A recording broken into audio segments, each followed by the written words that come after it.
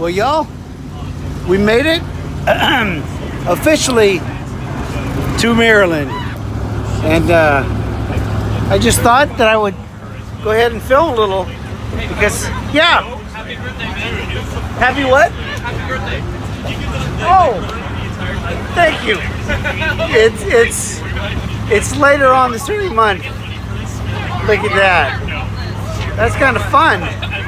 That is kind of fun. Here we are in Maryland. Pretty exciting. We've been driving for several hours, and this is the group of us who have been traveling from Lynchburg to um, the church by the Chesapeake in a city in Maryland that is close by the Chesapeake River. See you later. Bye.